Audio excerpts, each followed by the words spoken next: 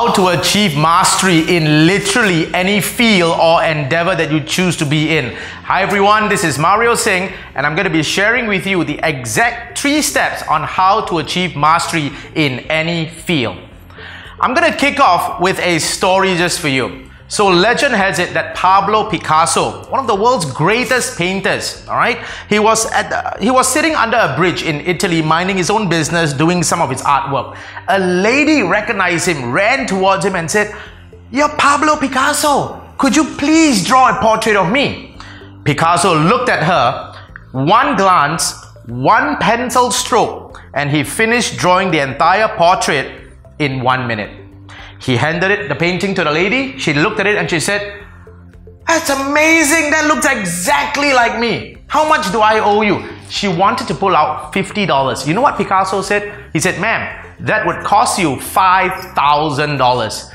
And she was in shock. She said, What? It just took you a minute to draw that. And Picasso said, Ma'am, it didn't take me one minute. It took me a lifetime. Mastery takes years and years and years for you and I to actually perfect any art. In his very famous book called Outliers, Malcolm Gladwell actually said, if you want to be achieving mastery in any field, you literally have to be spending about 10,000 hours perfecting your craft. Now, I've got my own definitions of what I term as mastery, so I'm going to be drawing for you a circle. Now, if I put mastery in the center, essentially there are three phases for you to be achieving mastery. All right? The three are learning, earning, and creating.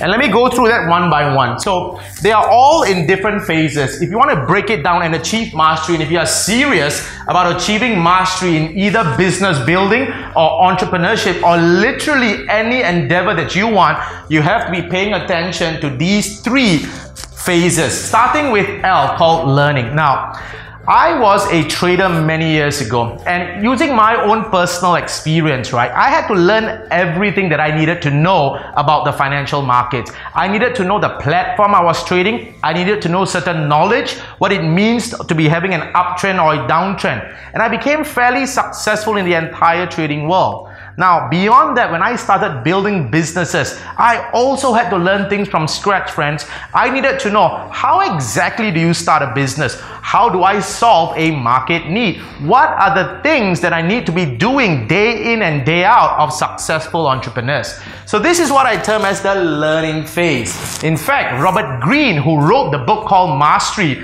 he started the book by saying this you need to do two things. You need to be discovering your calling.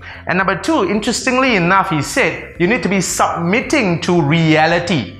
What that means is that you need to be starting literally from ground zero. If you don't know anything about the endeavor that you are embarking on, then that is the reality for you. This is when you start the L phase or the learning phase. Now, in the learning phase, you are essentially moving from what I term as unconscious incompetence, let me write this down, to conscious competence.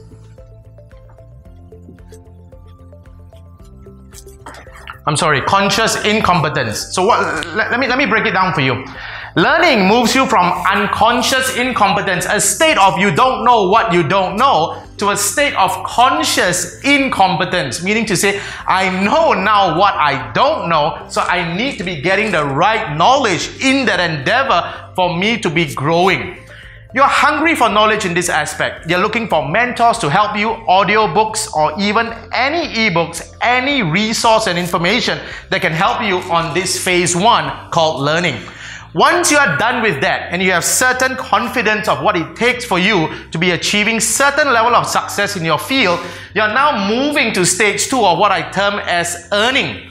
Earning moves you from conscious incompetence to conscious competence, meaning to say you have now earned the right. You're starting to see certain results of whatever you are creating. So in that aspect, once you are moved from conscious incompetence to conscious competence, you're starting to see certain results. As a trader for me, I was starting to earn some real money.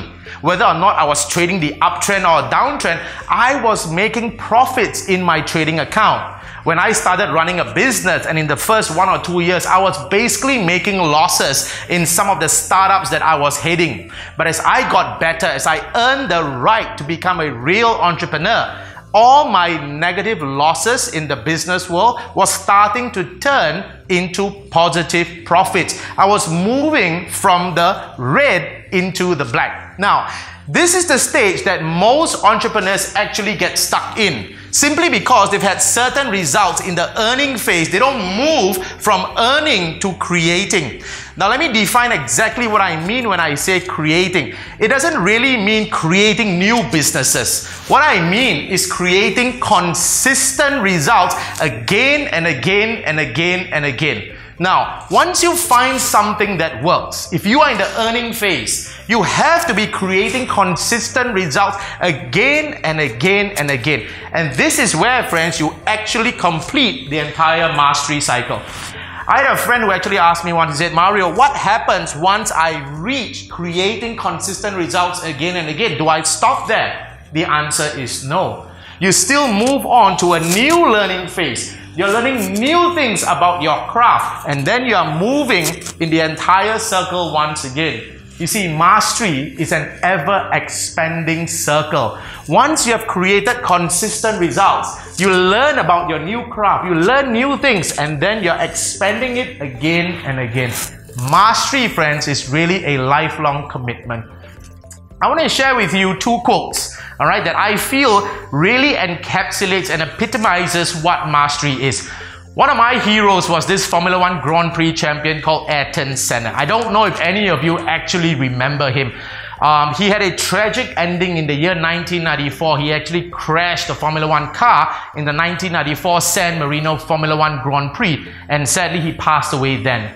However, Ayrton Senna had a very famous quote that at that point, I don't think he knew he was talking about mastery. You know what he said? This was his quote When I'm driving at my best, the last thing that I'm thinking about is driving. That simply means he's moving in flow. He has moved from a place of what I term as unconscious incompetence to conscious incompetence, all right, all the way to unconscious competence. He doesn't think about it anymore. It comes to him so naturally, he doesn't even need to think. You know, friends, when you're in that stage, I have my second quote from myself that I would like to share with you right now. You will be successful simply because you do not know any other way. And this is when you have achieved mastery and you're moving in flow, regardless of any endeavor or entrepreneurship initiative that you take on for yourself.